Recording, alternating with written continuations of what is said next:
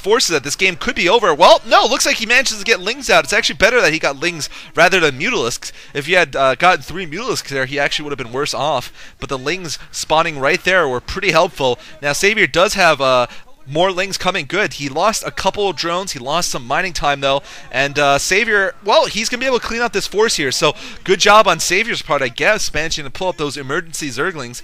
But uh, he really did not need to suffer much in the way of damage had he just not had his Lings uh, running around near Flash's base. Um, he also is going to be uh, delayed on his Mutalisk harassment. And, of course, he got his economy hurt moderately there by losing uh, three or four drones, I think. So, um, Savior, uh, I wouldn't say that was complete disaster there, but certainly not playing as good as he needs to be if he wants to beat Flash. Flash right now is putting up some turrets. I think he'll be well prepared uh, against against Savior's Mutalisk harassment. Savior's going to try to re- he's just basically doing what he used to do all the time, that three hatchery build into expansion into lurkers likely. But Flash should be prepared for that. That's an old school uh, build, and you need to pull it off very well. Um, you also need a Terran player who uh, doesn't know what to do. You know, basically, it doesn't doesn't uh, play aggressively, doesn't try to take down your third base, uh, which is usually what the weak point is of this build. Is this base right here, as you can see. Flash is definitely ready for this Mulus harassment, I think. Um, I don't see Savior managing to do much here with his uh, uh, 7 or 8 Mutalisks. He's going to have to follow up with a tech switch, I believe.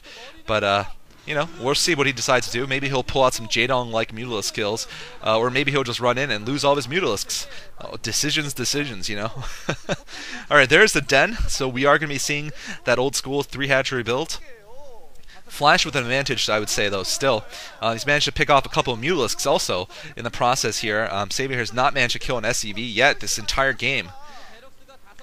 Flash is going to have uh, probably plus one upgrades pretty soon, and then once he notices the lurkers coming out, he's going to get tanks, and then vessels finally. Um, and then uh, you know he's he's most likely going to try to pressure that new base. It's going to be tough for Savior to hold all of this, um, especially with that base being so far away. As you can see, it's I believe it's the main base. Yeah, it's the main base of the right side main. So that is going to be uh, very hard to get to for him in terms of um, reinforcing it. And it's not going to be that hard for Flash to attack either. I mean, this is uh, pretty close to his base diagonally. Savior has just as long to walk, if not longer. Savior's still trying to catch Flash, um, you know, with, with, a split force here, but Flash is having none of that. Savior has had no success so far with uh, managing to surround a smaller group or something like that. Flash has gotten plus one done. Savior going to try to kill off one group. Okay, so Savior, uh, pardon me, does manage to get one of Flash's armies. That was pretty effective, I'd say. Didn't lose that much in the way of air, and he's uh, managed to shrink this force a little bit. Um, Flash still might have enough, though, to uh, take out this expansion. I'm not sure if Savior has got enough on the ground there. Um, he might need uh, some lurkers pretty soon. This is very medic heavy. That's going to be okay against Mutalisks. Flash managing to get up this expansion already, um, completely unopposed, and Savior does not have any uh, ground units coming by, so I think this expansion is going to go down. Yeah, it is going to go down. Flash just needs to stay on attacking, and he's going to take it down. Wow, that is could be game there for Savior.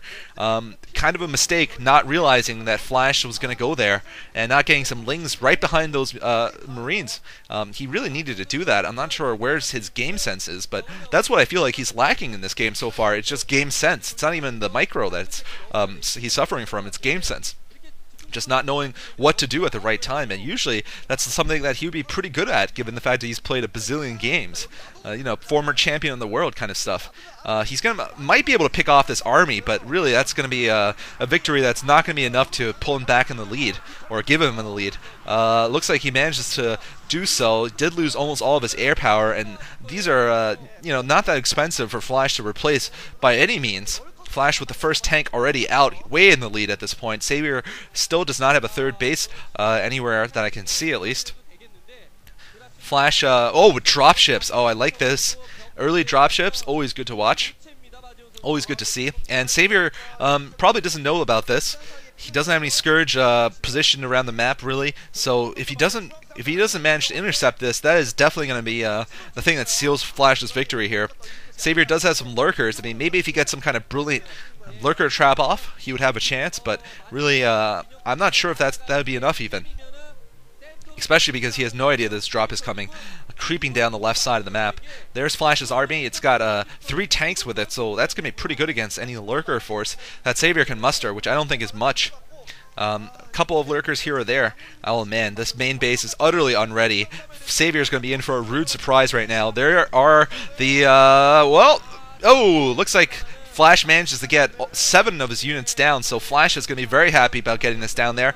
Uh, Savior actually managing to get some lurkers pretty quickly there, so uh, good response time, although um, that's not going to help the middle of the map. Flash is going to go right for the Hydralisk's Den there, going to try to stop lurkers, and he is going to manage to stop the lurker production. Is he going to be able to do it? He is, uh, right-click it! There you go. Nice work there by uh, Flash. I think that was um, it was break even. I wouldn't say it was a, a, real victory because he didn't manage to get uh, much in the way of drones. So uh, and he did lose that whole dropship force. But still, it's going to stop Flash from um, stop Savior from making his most dangerous unit to Flash, which is uh, the Lurker. Savior doesn't look like he's very close to having the Hive yet, so that could be uh, bad for him. All right, Savior is still trying to go for these backdoor attacks. I mean, that really was one of his signature moves back when he had signature moves, was to try to uh, sneak behind the enemy army when, when it was out in the middle. But, you know, back then I think he had better sense of when to do it. And also, um, you know, he, Flash seems that he's looks like he's very good at doing uh, a defense against that. And wow, as we saw there, Savior just losing two lurkers for no good reason at all.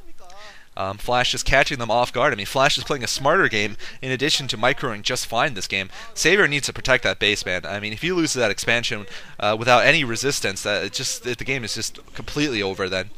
Oh wow, look at this. D-Matrix on the Marine. It could be just running in there uh, for a break. Savior still trying to get behind. I mean, this is not working well for him. The middle of the map here should be his, but he is not managing to take it. Um, Savior now retreating towards his new base. That many lurkers is going to slow down the advance at least. But uh, Flash is a very good position here. Very good. Savior does not have a significant force behind Flash's force, which is important. It means he's not going to be able to get a surround. All right, Savior going to go in uh, right now with that mid-game dangerous attack with his lurkers. I don't think it's going to work. This attack usually doesn't work. And there is GG coming from Savior. Savior's lost many a game with this kind of uh, desperation attack. He just didn't have the steam to keep going, though. Um, he did, just lost too many units and didn't have the economy to keep up with Flash, so he had to go for some kind of desperation attack. Um, he couldn't, you know, sit back and, and defend and wait for for Hive and Defilers. Um, just didn't have it with them. So with that, we're gonna wrap it up here and move on to uh, I believe Hyuk versus Effort. Yes, Hyuk versus Effort is gonna come up, and then. Uh, we're going to see Savior's couple of games in the MSL, Flash's games in the uh, OSL round of 36, I believe. I'm going to be casting, and uh, perhaps one more game, a yellow game. So definitely lots of games uh, that I'm going to be casting today. You guys are in for a treat, so uh, stay tuned.